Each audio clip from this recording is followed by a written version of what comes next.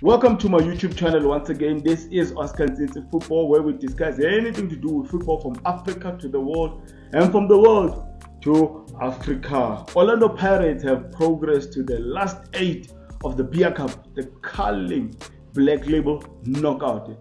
They've dismissed uh, Cape Town Spurs, who are really struggling. The guys are yet to win any match this season. No disrespect to Cape Town Spurs, but uh, I don't think they need any other competition in their hands. They really need to focus on survival. Their priority and main objective should be to stay in the PSL, and they really need some experienced new players to really change how things are looking at the moment. Well, the purpose and reason uh, for this uh, episode is really to focus on the main point that was spoken about when this uh, competition was launched, and uh, I'm talking about the Man of the Match award that it was going to be uh, voted by the viewers and fans. And um, I don't know, I don't know, maybe you'll tell me. Obviously, football is a game of opinions, and even this platform on YouTube, it's uh, it's my opinion. I'm not saying uh, I'm the final word, I'm uh, the final authority. I'm just giving my opinion, and uh, it would be interesting also to hear your opinion on this matter. They voted Thembinkosi Lorch as the man of the match for the game, and uh, I am not sure about that because, according to me, he was really not the standout performer in the match. Did he have a decent game? Yes, definitely. He played out. So I'm not sure if the fans are really voting for the guy because of what of what's happening in his personal life or not. But anyway, it's also good to see Thembinkosi Lorch uh, Vincent Pule, Olisa Ndah back in the field. We need these players uh, back in the field. We need to see these top professionals uh, doing what they love most. Uh, obviously, injuries um, were the reason they were not part of uh, the squad uh, in the past months. But to see them back in the field is, is really uh, wonderful. But again, going back to the topic, was Thembinkosi Lorch the standout performer yesterday?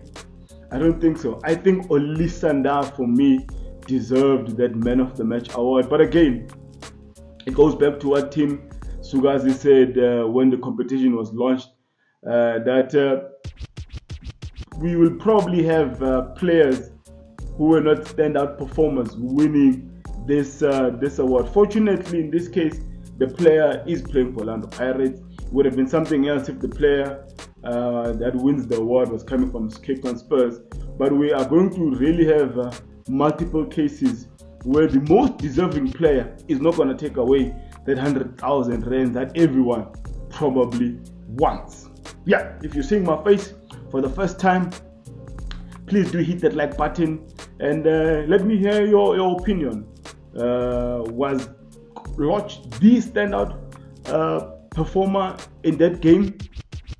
Let me see your comments in the comment section below. If you've not subscribed to this channel, please do subscribe, like, follow, share my content to all social platforms. I really, really appreciate. To my viewers who are coming back, uh, I really appreciate the support. I really try and uh, give uh, to reply to all the comments uh, in all the videos.